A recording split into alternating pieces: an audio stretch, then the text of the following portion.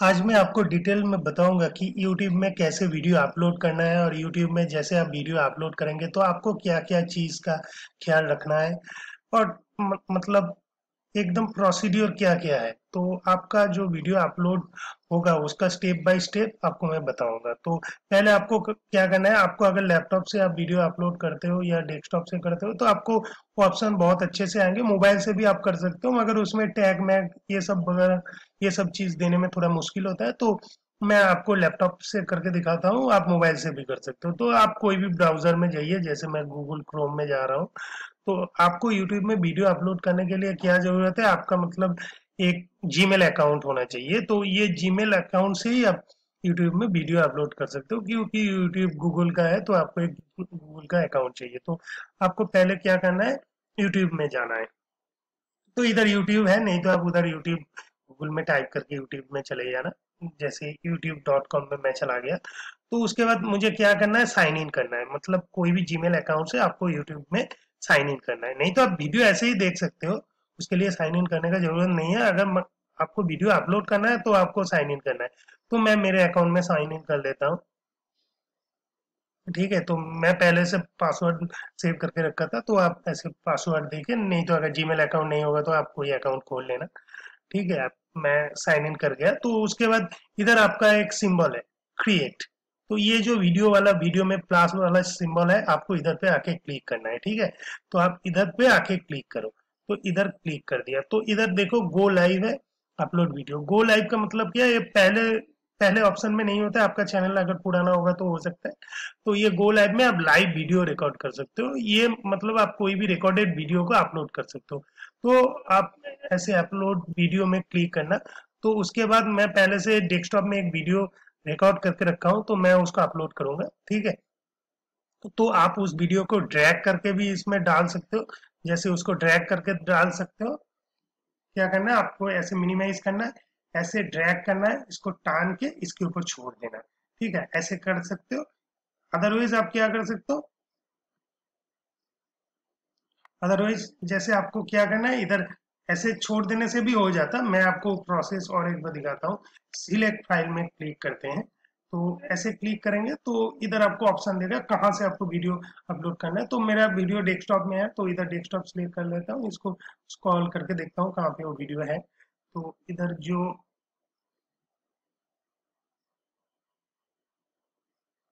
इधर ये वाला वीडियो मैं अपलोड करता हूँ तो इधर पे क्लिक कर दिया। ये सिलेक्ट हो गया फ़ाइल नेम से। ठीक है? तो इधर जाके ये वीडियो सिलेक्ट हो गया। तो बाय डिफ़ॉल्ट आपका जो फ़ाइल नेम रहेगा वीडियो का तो वही इधर टाइटल में आ जाएगा। आपको अगर चेंज करना है तो आप चेंज कर सकते हो। तो आपको ऐसे इधर हंड्रेड करेक्टर के अंदर कुछ स्पेस हंड्रेड करेक्टर के अंदर उसका फ़ाइल नेम डालना है। तो उसके बाद इधर आप डिस्क्रिप्शन डाल सकते हो कि वीडियो किस बारे में है। ऐसे करके डिस्क्राइब कर सकते हो। तो ऑटोमेटिकली ऐसे लिंक जनरेट हो जाएगा, ऐसे अपलोड होना शुरू हो गया, देखिए। ये करते करते अपलोड होना शुरू हो गया। तो उसके बाद आपका क्या ऑप्शन आता है?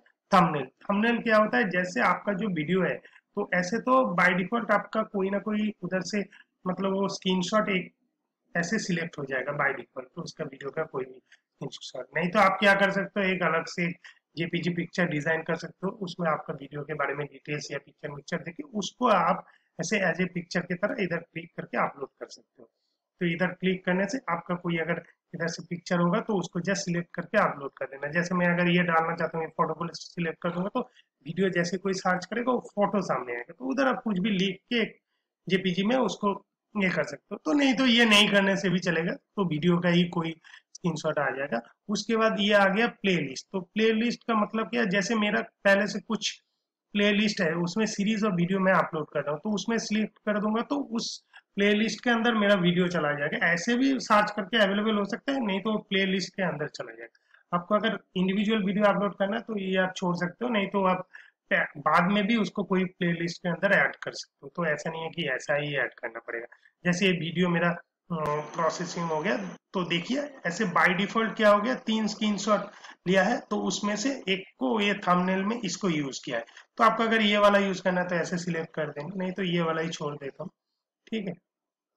तो उसके बाद चले जाते कि कुछ है, आपको अगर ये बच्चे का वीडियो है तो इधर आप सिलेक्ट कर सकते हो, अगर बच्चे के लिए नहीं है तो वो छोड़ दो। ठीक है, कुछ एज रिस्ट्रिक्शन है क्या? जैसे 18 के ऊपर ही लोग देख सकते हैं। तो जैसे आप यूट्यूब अकाउंट खोलते हो, उसमें आपको एज देना है तो आप एज ऐसे, जैसे कोई मतलब 18 से कम एज डेट ऑफ़ बर्थ उसका होगा तो वो ये वीडियो रिस्ट्रिक्टेड होगा और नहीं देख पाएगा। तो जिसका क्राइटेरिया फुलफिल होगा, ये।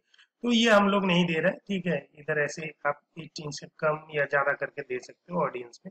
तो मोड ऑप्शन में चले जाते तो मोड ऑप्शन में क्या है? तो इधर देखिए, जो टैग ऑप्शन है तो टैग वाला ऑप्शन क्या है? तो टैग में आपको, जैसे कोई भी सर्च करेगा आपका वीडियो को तो आपको अगर मतलब यूट्यूब का चैनल का प्रमोशन नहीं चाहिए तो ये सब टैग में आप नहीं भी दे सकते हो।